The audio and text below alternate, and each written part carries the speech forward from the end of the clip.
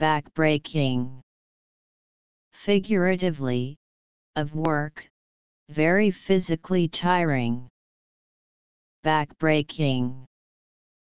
Figuratively, of work, very physically tiring.